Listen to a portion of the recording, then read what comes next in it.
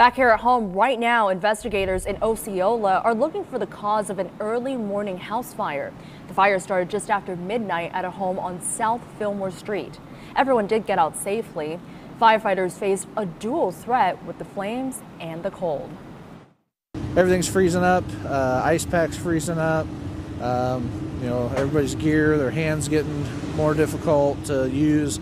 Um, we had a water main break. City crews hope to finish repairing the water main break by this afternoon.